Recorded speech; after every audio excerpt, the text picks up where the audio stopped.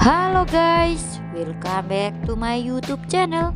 Video kali ini kita akan melihat cuplikan sinetron Magic 5 yang tayang hari ini 23 Agustus episode 512.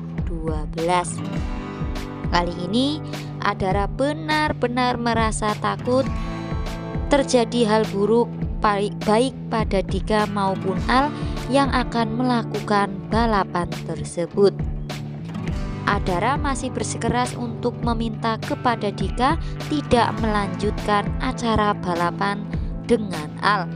Apalagi Al kali ini sedang dipengaruhi ilmu jahat Nyai Hodam dan takut terjadi hal buruk pada Dika selama balapan itu.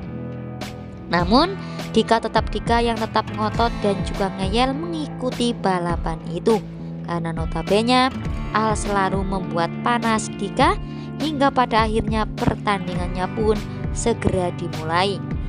Adara pun benar-benar was-was jika terjadi hal buruk baik pada Dika maupun pada Al. Namun yang dikhawatirkan Adara justru berpihak kepada Dika karena notabene Al kini sedang dipengaruhi ilmu jahat oleh Nyai Hodam.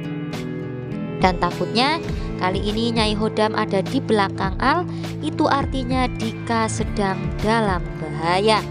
Dan itu yang membuat selama pertandingan itu Nampaknya Adara benar-benar merasa ketakutan dan was-was jika ada hal buruk yang terjadi. Namun siapakah sebenarnya yang akan menang di pertandingan kali ini? Al ataupun Dika Dan akan seperti apa keseruan pertandingan yang akan dilakukan oleh Al dan juga Dika ini? Apakah Dika akan aman atau justru sebaliknya?